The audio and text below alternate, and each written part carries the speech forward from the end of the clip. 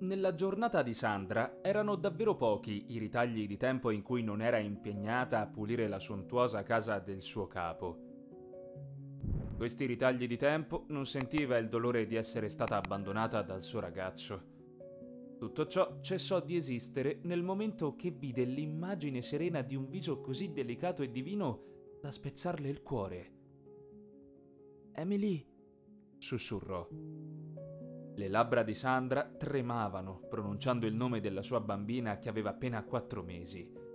Il mondo di Sandra si era capovolto dal giorno in cui aveva saputo di essere incinta. Il suo ragazzo l'aveva lasciata ormai da tre anni, aveva detto che non era tagliato per essere padre. Sandra non aveva mai incontrato nessuno in questo mondo che fosse un padre o una madre. Fin da quando riusciva a ricordare si era sentita sballottolata da una casa adottiva all'altra, senza mai farsi dei veri amici o essersi mai sentita a casa. C'erano anni in cui era arrabbiata con il mondo, riluttante a ogni essere umano gentile e vulnerabile che si trovasse sul suo cammino, ma quella rabbia era diventata sempre più vecchia e più spenta con il passare degli anni, e quando era arrivata Emily si era completamente dissolta. Prometto che veglierò su di lei. Posso essere per lei la madre e il padre che io non ho mai avuto. Pensò mentre passava l'aspirapolvere sul costoso tappeto che ricopriva il pavimento di marmo nella casa del suo datore di lavoro. Era solo il suo terzo giorno di lavoro e sembrava già che stesse dando sui nervi al signor Russell. Cosa pensi di fare, signorina? la riprese lui. La sua voce debole ma arrabbiata la riportò di scatto alla realtà. Stai usando l'aspirapolvere sbagliato sul tappeto sbagliato. Ancora! Sandra arrossì per l'imbarazzo e la vergogna e corse nel ripostiglio in soffitta per correggere il suo errore. Le parole rabbiose del signor Russell continuavano a perseguitarla. Se hai intenzione di essere distratta per tutto il tempo, ti suggerisco di cercare un altro lavoro. Vorrei vedere chi altro assumerebbe una sciatta come te. Sandra non poteva evitare di sentire la voce dell'uomo o impedire ai suoi occhi di lacrimare, e il fatto che lassù non riuscisse a trovare lo strumento di pulizia giusto non aiutava di certo. Rovistò nel grande ripostiglio e si morse la lingua mentre una pila di stracci e secchi cadeva sul pavimento, facendo un forte rumore. Che cosa è stato quel rumore? Il signor Russell urlò con impazienza e iniziò a salire le scale verso la soffitta. Sandra stava nervosamente rimettendo a posto tutto quanto quando ha notato qualcosa che è caduto dagli scaffali.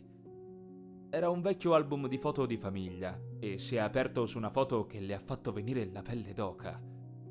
Stordita prese l'album e diede un'occhiata più da vicino alla foto. I suoi occhi si spalancarono e si riempirono di lacrime. Questa... questa sono io. Sandra si chiese ad alta voce prima di crollare sulla sedia dietro di lei. Quando finalmente riuscì a riprendersi, vide il signor Russell che era rimasto in piedi in un angolo della stanza per tutto il tempo, solo che questa volta la sua voce si era addolcita e aveva le lacrime agli occhi.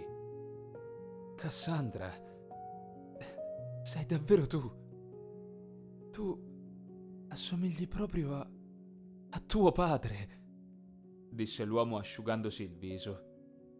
Il signor Russell ha riguardato la giovane donna sotto una nuova luce e ha potuto vedere chiaramente le tracce del suo migliore amico Matthew, il suo commilitone dal cuore grande che era morto tragicamente in un incendio diversi anni prima. M- mio padre? Lo conoscevi? chiese Sandra con un filo di voce. Il signor Russell è crollato sulla sedia dietro di lui e si è coperto la bocca. I suoi occhi rivivevano l'orrore, il dolore e la promessa fatta in passato.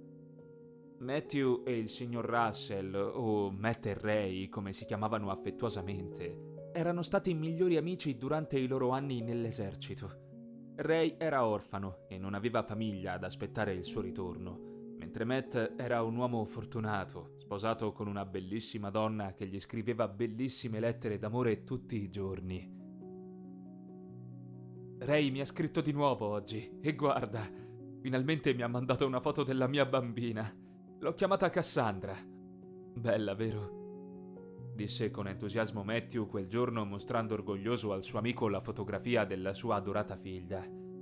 Ray aveva guardato la foto e aveva sentito la gioia del suo amico nel proprio cuore. Tutto sembrava andare per il meglio per i due amici, ma purtroppo il destino sembrava avere altri piani. Il giorno successivo, Matthew è stato coinvolto in un incendio nel magazzino che era stato incaricato di sorvegliare. Mormorando a fatica nei suoi ultimi momenti di vita, la sua mano debole mise la foto di sua figlia nelle mani di Ray.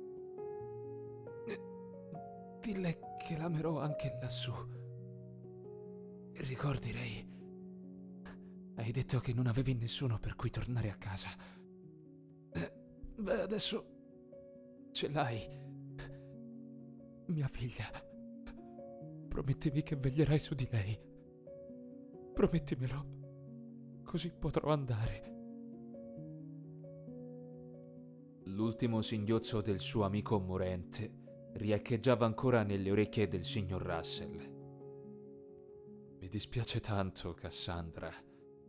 Ho scritto a tua madre, ho cercato lei e te. Ma quando sono tornato dal servizio un anno dopo, eravate andate via senza lasciare traccia. Tua madre ti aveva portato in un'altra città. Voleva iniziare una nuova vita per il tuo bene ammise infine l'uomo con gli occhi ancora bagnati di lacrime. Sandra scoppiò in lacrime mentre ricordava pezzi del resto della storia. Allora aveva solo tre anni e ricordava sua madre che l'aveva accompagnata da qualche parte.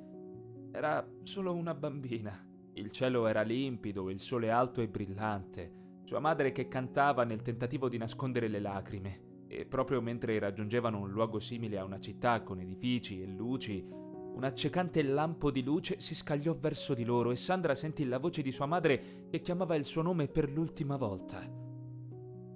Cassandra, aveva detto. Ed oggi, anni dopo, la voce del signor Russell aveva la stessa pesantezza mentre pronunciava quel nome. È stato un miracolo che dopo tutti questi anni la vita abbia permesso a Ray di mantenere la sua promessa. E per Sandra, o Cassandra, come ha insistito di essere chiamata da allora, è stata una benedizione sentire la presenza di una figura paterna nella sua vita. Per il resto dei suoi anni, Ray ha fatto del suo meglio per recuperare il tempo perduto con la figlia del suo migliore amico. Ha accolto Cassandra e la sua bambina e ha fornito loro ogni lusso che poteva permettersi. Quando è arrivato il momento di andarsene, Ray ha lasciato tutto ciò che aveva guadagnato sulla terra a Cassandra e Amelie, la famiglia che gli era stata regalata da un amico incredibile. Questa bellissima storia è la prova che a volte si è così fortunati ad avere una seconda possibilità. Cassandra ha vissuto come un'orfana per tutta la sua giovinezza e Ray ha vissuto da solo nella sua villa, finché la vita non li ha finalmente riuniti in un modo inaspettato che ha cambiato le loro vite per sempre. Bisogna avere fiducia. La vita ti porterà ciò che stai cercando anche se dovessero servirci anni. Ray aveva perso la speranza quando non era riuscito a trovare la figlia e la moglie del suo defunto migliore amico, ma anni dopo la vita lo ha sorpreso nel modo più inaspettato. Questo è tutto per oggi ragazzi, se questa storia vi è piaciuta cliccate il video sullo schermo per altre storie simili.